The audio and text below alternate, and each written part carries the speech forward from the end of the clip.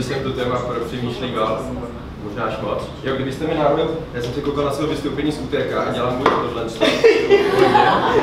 a nebo jsem jako, že žvejkal žvejkačku tohle, ale to jak budu teď mluvit asi furt, tak se to snad nestane. Tak když tak nějak jako upozorněte, kdyby používal. Uh, já jsem tady hrozně rád, vlastně jsem tady už ve svojí komfortzóně, o tom budu dneska i mluvit, o komfortzóna.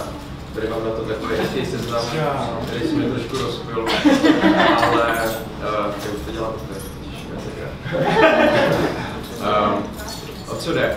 Uh, já jsem přemýšlel, co bych tady říkal, volil jsem náročnou možnost volby. A První téma, co mě napadlo, co jakoby, kdy jako v životě jsem používal improvizaci a kde prostě uh, jsem tak jako vylízal ze své komfortzóny, tak pro mě asi nejdůležitější chvíli taková na životě byla moje autoškola. Já jsem byl totiž výjimečný student a dokázal jsem v autoškole to, co skoro nikdo nedokázal. To udělal jsem to na popátý. Což by se dalo pochopit podle mě v Holandsku, kde minulý rok vyhlásili zákon, že můžete platit uh, za autoškolu sexem, tak v případě, kdyby byla třeba nějaká pěkná komisařka, tak to by asi dávalo smysl. Ale jinak to byl velký nesmysl. Šlo o tom knížku teď, ale rozhodl jsem se, že o tom nebudu tady mluvit, protože to je fakt moc dlouhý. A je to spíš smutný, než jako, jako, jako pobavení. A potom jsem si říkal, že bych mohl mluvit o svých sexuálních zážitcích. To by bylo zase moc krátký. Takže jsem zvolil uh, téma, o kterém hrozně rád diskutuju s lidmi a je pro mě jakoby důležitý. Uh, a jedná se o, o comfort zone, o vystoupení z comfort zóny, což impro jednoznačně je o vystoupení z comfort zóny. Takže, uh, já si myslím, že relativně jakoby jsem schopný vystupovat z té svojí a jsem za to hrozně rád. A ne, že bych vás chtěl jako poučovat, ale že bych vám nastínit nějakých pár věcí, které během mýho jakoby, životního vývoje pomohly mě a můžou třeba pomáhat dál.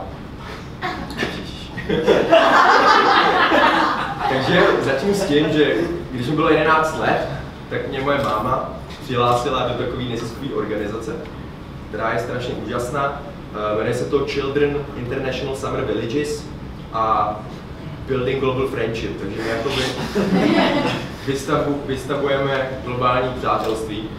Vzniklo to někdy v 50. letech uh, minulého století a byl to nápas, nápad, nápad jedné slečny, která viděla vlastně budoucnost světa v tom, že uh, lidi se budou potkávat uh, na vlastně jakoby táborový úrovni. Často se dělají kempy pro od 11 let až prostě po 15, ale jsou jakoby programy, do kterých se můžou lidi zapojovat i později. A třeba jedete s delegací, máte čtyři děti, dva kluky, dva holky, jedete, jedete na místo, kde je dalších 10 uh, různých států, takže máte 40 dětí, 10 vedoucích a je to strašně jako osvobozující. Vlastně vidíte, že když je někdo trošku jako tmavší nebo jiný, tak to nezbytně neznamená, že nemůžete být kamarádi.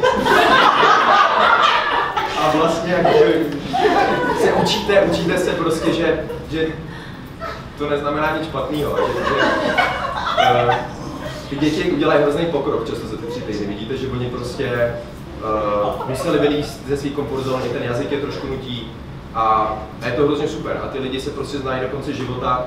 Do dneška mi pípají zprávy na WhatsAppu 4 roky zpátky, protože ty děti si píšou jako hi, hello, srdíčka, vzpomínají si, kdy máš narozeniny. Na konci celý kem brečí. Já brečím taky, ale brečím bez prše, aby to nikdo neviděl. A... ale... Nějaký dobrý trik, no. Eh, jsem chtěl říct, Tuhle organizaci je, je super, jak vidíte, jak třeba fungují komfort zóny. Vy na začátku přijedete na neznámý prostředí, první víkend jste tam jenom vedoucí, protože děti jsou uh, v rodinách, takže třeba poznávají to město na dva dny, jsou jakoby host family, uh, a vy tam s těma vedoucími. Vy tam přijedete na začátku tak prostě na sebe civíte, koukáte, říkáte si jako, s kým to tady jsem. No a po chvíli, po tom víkendu, jsou to vaše najednou nejlepší kamarádi a najednou prostě jste v cizí zemi a jsou to ty vaši lidi a ty tam naběhne těch 40 dětí, ze kterých máte hrozný strach. A jste hrozně rádi, že máte tu svoji partu těch deseti vedoucích, který tam jako od váma, s váma jakoby jsou od začátku. Ale to samé se vám stane znovu. stane se vám to znovu po chvíli, kdy prostě ten kemp proběhne a vy najednou prostě najednou nechcete vidět ten okolní svět. Najednou jste si vytvořili svoji komunitu, svoji komfort zónu a zase prostě nechcete to překračovat a nechcete z toho vylízt ven. Jako je to takový, uh, je to takový jiný svět, ale hrozně hezký a hrozně jakoby příjemný.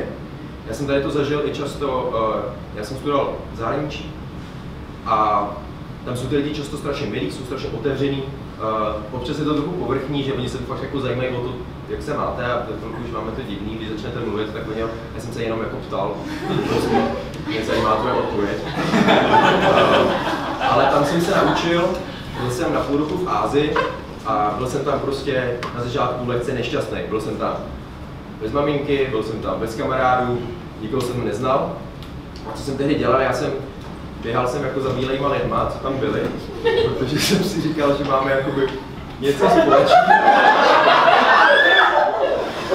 Připadalo mi, no. Jakoby jdete, jdete trošku jakoby za těma svejma, víte co. Uh, takže vždycky prostě, jak jsem viděl nějakého bělocha, zaběh jsem za ním a Facebook, aby se mnou komunikovali. Uh, ale třeba když se teď zvracím z té, uh, nebo když jsem se vrátil z té Azie, tak jsem měl zase strašný pocit, že jsem jako Aziat trošku. Víš, jako že takovej prostě, uh, že se cítím, že už jsem tam jako by byl a mám s tím místem něco společného. A hrozně mi napadlo, že my takhle vlastně soudíme často společnost, že v Praze jsme Spartan nebo Slávista. Spartani jsou lepší, to je sice pravda. Ale potom jsme Praha proti Brnu. Potom jsme Česká republika na fotbale proti jiným národům. Najednou v Ázii jsem pro mě prostě byla víc třeba Evropa oproti východu, protože jsem to tolik neznal. Říkám si, že nejideálnější mírová možnost do budoucna je, kdyby nás napadli Marťani, tak prostě budeme jako jeden svět a budeme si mít všichni rádi a budeme společně. To jsem si myslel, že taková hezká myšlenka k tomu. Uh, nic um, jo, tak já jdu dál ještě. Uh, chtěl jsem mluvit trošku jako o, o tom, jak to potom funguje ve vztazích. Že u nás dneska je fakt problém, jsme moderní technologie, jsme tady ta generace, která tady to hrozně využívá, uh, jsme nekomunikativní občas. Já jsem se dočetl, že uh, dopravních prostředcích se usmívá pouze 8% lidí, Čechů, na Slovensku je to celých 11%, takže máme asi něco, co dohánět. Ale uh, je to vlastně jakoby škoda. Přijde mi, že ta mladá generace s tímhle teď jakoby bojuje, něco se týče prostě oslovování lidí, uh, na baru vycházení právě ze své komfort zóny a strašně to může být podle mě jednoduchý. Nemusíte přijít třeba za holkou na bar a nemusíte jakoby hned mít narážky a hned jakoby ukazovat, kam směříte, ale můžete se s lidmi bavit úplně o čemkoliv.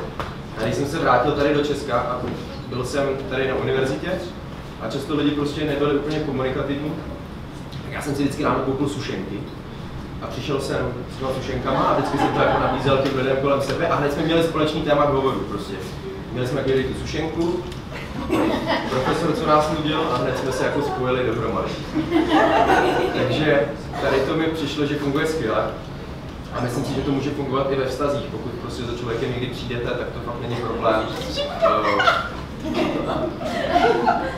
přestal jsem, já jsem si vždycky v 15 myslel, že zbalím holku na to, že uh, budu třeba rychle běhat, nebo třeba vysoko skákat. Ale zatímco jsem rychle běhal a vysoko skákal, tak se s tou holkou líbal kluk, který jenom poslouchal. Vlastně. Takže jsem zjistil, že musím trošku změnit jakoby strategii. A jednu dobu, a to mi přišlo taky úžasný, to třeba nejsem moc pro balící hlášky, jak jsem tady vysvětloval, ale jedna je fakt dobrá a to je jedinou jakoby fakt schvaluju.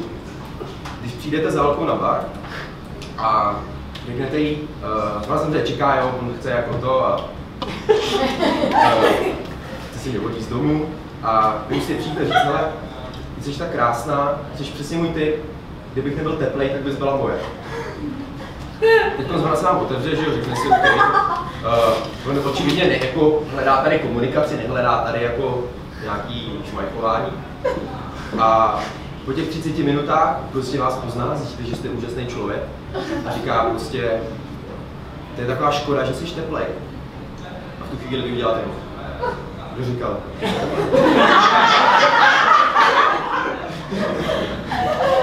Nikdy jsem to jakoby nezneužil,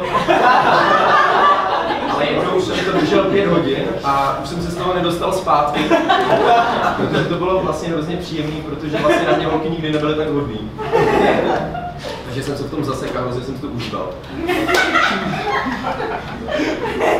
Byl takhle s kamarádem a přecílili jsme, že jsme teplí společně. A já jsem se právě vylíval jedný holce, že jakoby můj přítel mě tam jako podvádí s holkama. Ona ho skoro zmlátila, když přítel uh, Ale vlastně jenom říkám, že, že vždycky mi přijde, že lidi hrozně často chtějí být oslovení. Uh, jakýmkoliv způsobem. Já určitě jakoby často čekám taky a nikdy nesoudím toho člověka, který by mě chtěl oslovit. Naopak si myslím, že často lidi jsou blíž sebe a bojí se okamžitě, jakoby, jaká bude moje, jak si, co si člověk pomyslí o mně. Jakoby, jsou často jakoby nesebevědomí sami v sobě a moc přemýšlejí sebe středně, že oni jsou ten problém a oni jsou tam ta vadná část a že ty vlastně všichni ostatní jsou lepší a mají na to většinu. A tím se dostávám uh, k poslednímu bodu a to je impro. Já když jsem se vrátil tady z těch cest a se CSV a tak, balení hole, tak jsem hrozně chtěl, nebo hledal jsem hrozně tady v Čechách nějakou komunitu lidí, uh, kde bych jakoby našel tady tu svoji, ten svůj výpadek z comfort zóny, ale vlastně si zase tam vytvořil třeba další novou skupinu a další novou comfort zónu. Byl jsem tedy, Filip mě vzal kamarád na vystoupení uh, kluků uh, z Just Impro a byli pak skvělí hrozně.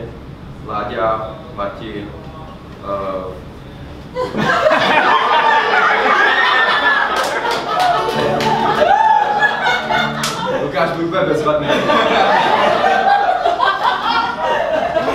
jakoby uh, hrozně do toho zakoukal, říkal jsem si, to je super, jakoby přišel mi hrozně vtipný. Já jsem si skoro přišel nevtipný, když jsem jakoby nahazoval ty možný témata, který, jakoby, oni, na který by oni mohli mluvit. A pak jsem se dozvěděl, že dělají tady ty kurzy. Říkal jsem si, super, to je jako přesně něco, co by mohlo být pro mě. Do dneška si pamatuju první den, jak jsem tam přišel, jak jsme seděli v kroužku, ta parta, tak jsme se koukali. Já jsem zapomněl vzít sušenky, takže jsem bylo trošku jako v nesnází na začátku. Ale ten vývoj možná byl i trochu pomalej, ale překvapilo mě, jak jakoby nesourodá parta trošku, byly tam prostě různý lidi. Holky, kluci.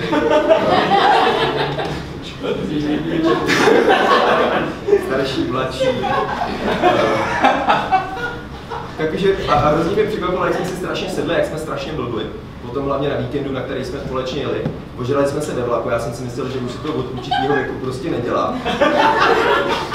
Nebo jak jsme šli budit našeho spolužáka, 40 letého asi, s tím, že jsme říkali, že prostě nepůjde v sobotu večer spát, tak jsme se celá skupina dali dohromady a šli jsme ho budit.